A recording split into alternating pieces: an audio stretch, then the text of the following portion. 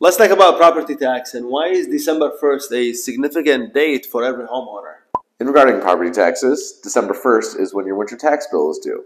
This goes from December 1st, 2022 through November 30th of 2023. So as soon as you pay your taxes, you know you're covered for the year. Same with your summer tax bill. Um, it goes from July 1st through June 30th of the following year.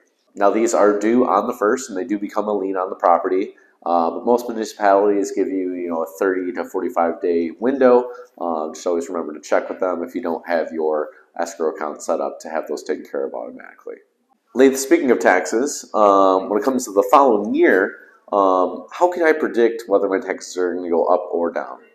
So as a new homeowner, your property tax will be uncapped for next year. And they will calculate your taxes based on 40% of the purchase price.